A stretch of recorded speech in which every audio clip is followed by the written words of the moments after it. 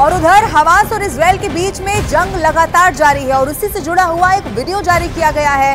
Hamas ने ये video जारी करते हुए दावा कर दिया है कि उसके लड़ाके इसराइल की सेना को खान यूनिस में निशाना बना रहे हैं।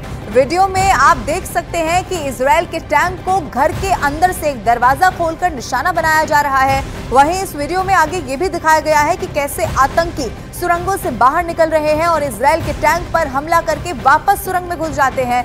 हमास ने ये वीडियो बाकायदा एरो लगाकर टारगेट को दिखाया और उस पर हमला करते हुए विस्फोट का वीडियो भी रिकॉर्ड कर लिया है। वीडियो में एक आवाज़ भी सुनाई दे रही है, जिसमें अरबी में कहा जा रहा है कि ये पीले रंग की ब्रांड न्यू गाड़ी में आए। उन्होंने सोचा कि यहाँ शहर में कोई नहीं है। वो पिछले दो घंटे से मुस्लिम कब्रिस्तान को तबाह कर रहा था और ये वीडियो बाकायदा हमास की तरफ़ से जारी किया गया है।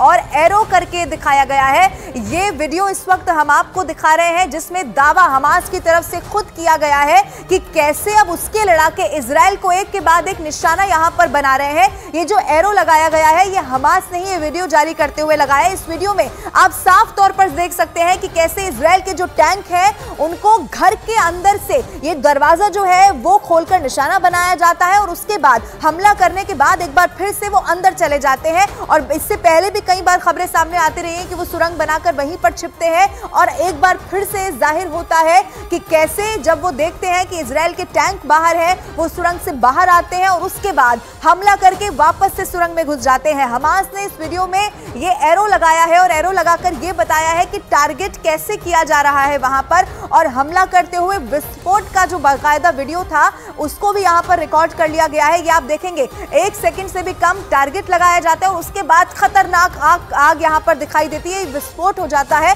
और इस विस्फोट को भी अब रिकॉर्ड कर लिया गया है। आवाज़ भी जो सुनाई दे रही है, उसमें भी अरबी में कहा गया है कि पीले रंग की ब्रांड न्यू गाड़ी में आए, सोचा नहीं, यहाँ शहर में कोई भी नहीं है।